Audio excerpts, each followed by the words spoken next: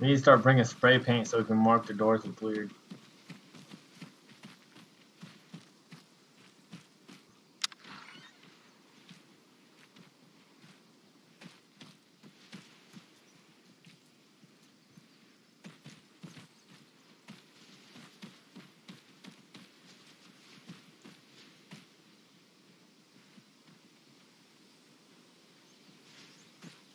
Is that what y'all do in real life? Sorta. We dropped chem lights.